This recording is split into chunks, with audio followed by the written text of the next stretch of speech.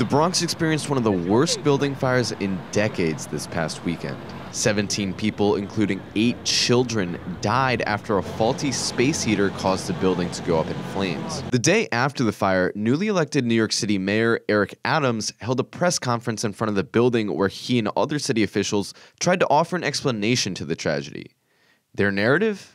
The tenants negligently left the front door open as they fled the building, causing the fire to spread inside the building. City official after city official chastised the tenants and reminded them to close the door.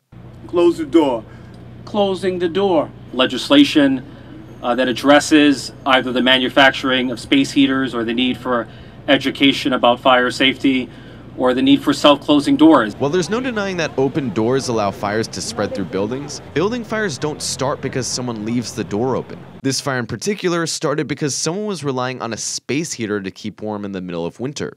This begs the question, why did this tenant need the space heater in the first place? Was the landlord providing adequate heat? I asked Eric Adams if the city was investigating whether or not the landlord was providing adequate heat, and he replied with the following Is there any investigation as to whether or not the residents were rece- receiving adequate heat?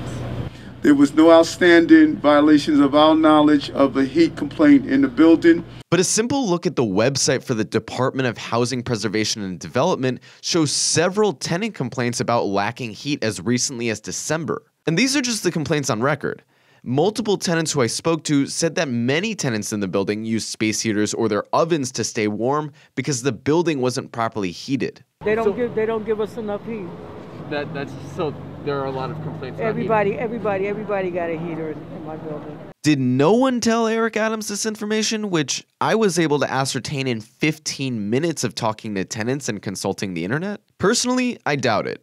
One has to wonder if he might be avoiding the heating issues because the guy that owns this building, Rick Gropper, was on Eric Adams' mayoral transition team. They're friends.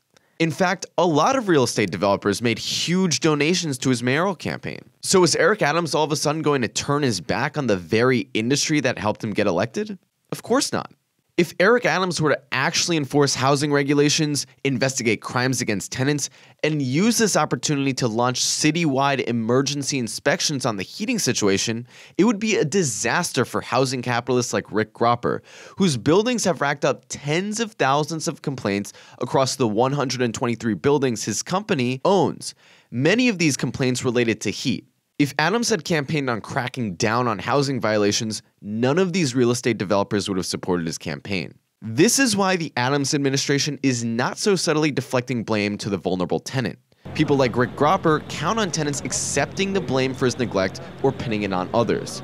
But if his tenants, the tens of thousands of New Yorkers that he's scarred, join together to point the finger at Gropper, he might actually have to face punishment for his repeated neglect. Every time there's been a major fire like this in New York City, whether it was the Triangle Shirtwaist Fire or the fires in the Bronx throughout the 70s, the politicians and the media's reaction has always been to blame the individuals. But the survivors in these cases refused to accept the blame and organized movements for accountability that highlighted the social conditions that led to those fires. That's what Adams and Gropper are afraid of real accountability.